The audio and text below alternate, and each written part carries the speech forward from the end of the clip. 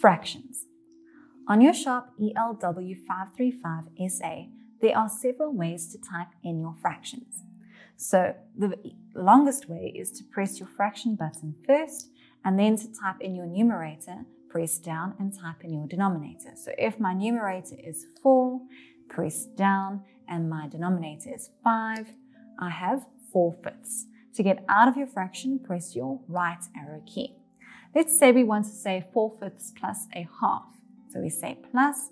The shorter version of doing this is to first type in your numerator, then press your fraction button, and you see that your numerator hops up on top automatically, and then your highlight your denominator is highlighted, and we press 2, and then we say equals, and that will give us our answer.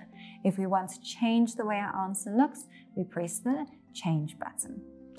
If, for example, we want to do um, mixed number fractions, there are also two ways to do this. So firstly, we can put in our whole number, 4, and then we can glue the fraction onto the whole number by pressing second function and then our fraction button.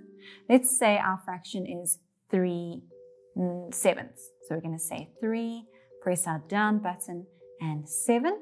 And then to get out of the fraction, we press our right arrow key, and we're going to say minus now the next way to do this is to first press your fraction button and then to press your left arrow key to go in front of the fraction, type in your whole number, so for example 2, and then to go back and type in your fraction. So we're going to press 4 and down and let's say it's 9.